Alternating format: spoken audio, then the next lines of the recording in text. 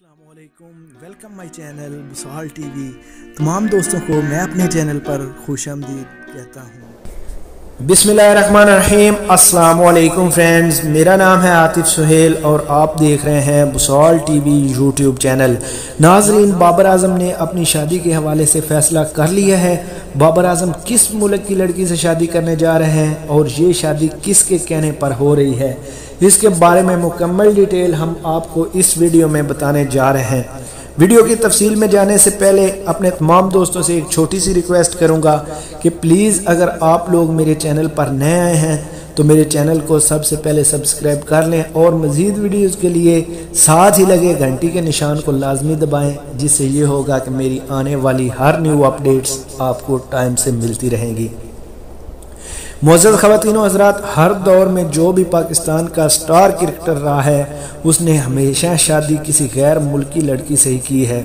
Cricket کا سب سے بڑا نام اگر بات کی جائے عمران خان کی، انہوں نے لندن میں ایک عرب پتی لڑکی جمائمہ گولڈ سمتھ سے شادی کی تھی، جو بدقسمتی سے چل نہیں سکی۔ اور وہیں پر بات کی جائے، ناموار فاسٹ بولر وسیم اکرم نے بھی آسٹریلیا کی ایک لڑکی کو اپنا جیون ساتھی چنا۔ شعیب ملک کی بات کی جائے تو انہوں نے اپنی شادی ہمارے حریف ہندوستان میں کی، جس جبکہ حسن علی کے بونسر کو دیکھ کر ایک انڈین اپنا دل ہار بیٹھی تو انہوں نے بھی حسن علی کے ساتھ ہی شادی کی۔ ناظرین، آج کل یہ بات سوشل میڈیا پر بہت گردش کر رہی ہے کہ بابر اعظم نے بھی اپنی زندگی کا ہم سفر انڈیا سے ہی چنا ہے۔ سیف علی خان کی بیٹی سارا علی خان سے شادی کرنے کا ارادہ زہر کیا ہے۔ ذرائع کے مطابق سٹار بلے باز نے اس کام کی ذمہ داری اپنے جگری دوست شعیب ملک کو سونپ دی ہے کہ وہ جلد از جلد اس بات کو آگے لے کر چلیں۔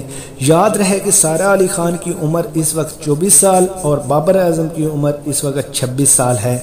اور حال ہی میں ثانیہ مرزا ان کی جلد دبئی میں ملاقات کروانے والی ہیں، جس سے یہ پتہ چلے گا کہ ان دونوں کی بات کہاں تک پہنچتی ہے۔ اگر یہ شادی ہو جاتی ہے تو یہ پوری دنیا میں ایک خوبصورت جوڑا کہلائے گا۔ سائرہ علی خان کی بات کی جائے تو وہ انڈیا کی ایک بہت بڑی سٹار ہیں۔ وہ بھی فلموں میں کام کرتی ہیں۔ اور اگر بابر اعظم کی زندگی کے بارے میں دیکھا جائے یا بابر اعظم کی دیکھا جائے تو وہ بھی پوری دنیا میں مانے جانے سٹار ہیں پاکستان کے۔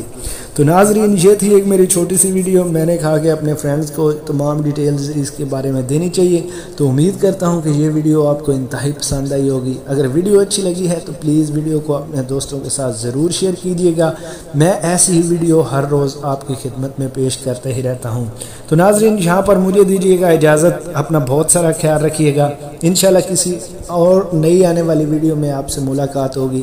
تب تک کے لیے اللہ حافظ۔